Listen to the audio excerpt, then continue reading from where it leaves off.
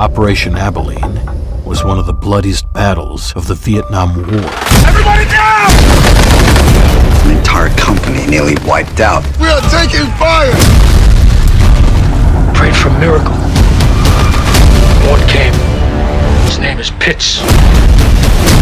Pitts saved lives. We put him up for the Medal of Honor. But he never got the medal. Justice delayed is justice denied. The Medal of Honor is the highest recognition of military valor there is. You'll prepare a full decorations review. Sir Pitsenbarger, sir. I'm from the Department of Defense. I'm here to learn about your son.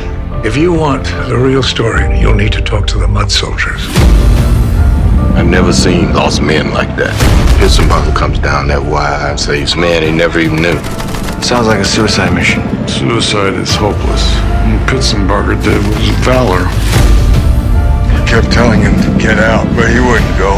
He was there to save lives, and that's what he was doing. Why are you here? Because you're here. Ellie shouldn't even have been there. None of us should. What are you saying? That's friendly fire. We were fighting our own men. The after action report is missing. Who even thought up Operation Abilene in the first place?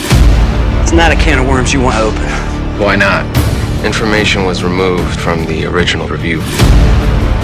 You have no idea where you're starting. I have never seen you back off of anything. Usually we're judged by what we do, but what we don't do is what haunts us. I'm gonna go public with the story. Sounds a little dangerous. But it'll be great television. Getting that medal for Pitts, for the men I lost, might be the only decent thing I pull out of that war.